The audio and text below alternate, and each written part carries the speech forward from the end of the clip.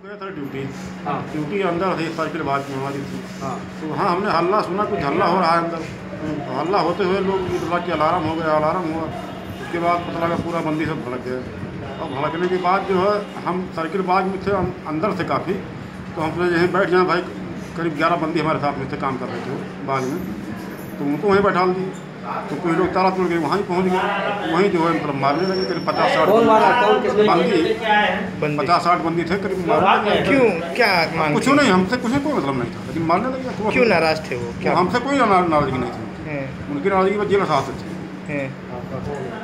क्या चाहते थे जेलर से? अब क्या रुको ना। बाहर से हमसे कोई मतलब नहीं बस हम तीन ड्यूटी वाले हम लोग थे कोई।